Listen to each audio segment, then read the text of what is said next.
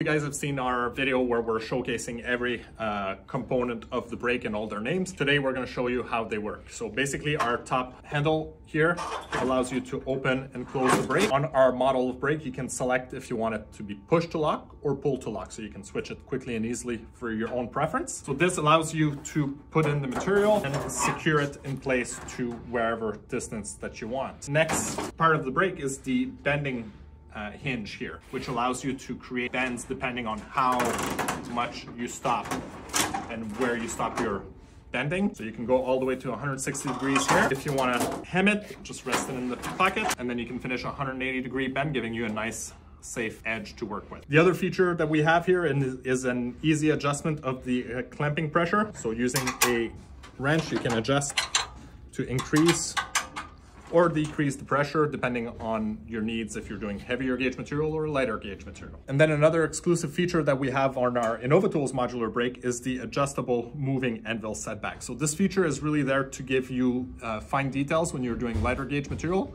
or the power when you're doing heavier gauge material such as 24 gauge steel. Super simple, simply pull the pin out and then you'll see once we open it, the teeth disengage and this allows us to move the anvil back and forth to get the different setback. Obviously, three quarter inch setback will have 50% more power than half inch setback. So it's simple physics. So this is another exclusive feature of our brake.